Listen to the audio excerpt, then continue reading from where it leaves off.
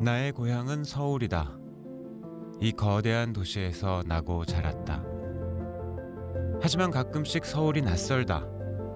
매 순간 변화하는 그래서 오래 머무니도 이방인처럼 느껴지게 하는 이곳.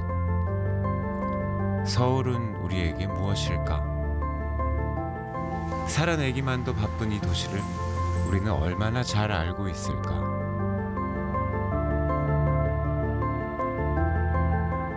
서울 열정과 강렬함이 있죠. 근데 그 깊은 속 안에 뭔가 고독, 외로움 그런 부분도 좀 공존하는 게 아닌가 싶기도 하고 서울 같은 경우에는 이 도시 자체가 워낙 그 이 면적으로 된 도시고 다양한 사건들이 동시에 일어나는 어떻게 보면 모자이크하는 도시고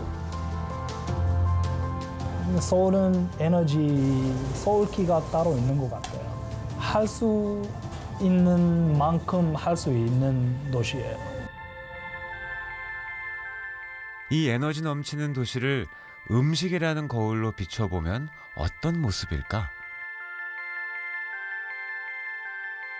어느 미식가는 내가 먹는 음식이 내가 누구인지를 알려준다 했다. 내가 나고 자란 도시. 그 많은 서울의 식탁들을 들여다보면 이 도시를 조금은 더 알게 되지 않을까? 나는 지금 서울의 맛을 찾아 나의 도시로 떠난다.